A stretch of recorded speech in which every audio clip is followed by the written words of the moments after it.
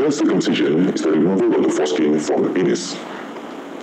Circumcision for adults is a medical treatment option for patients with recurrent foreskin infection, phimosis, and some men do it for religious reasons.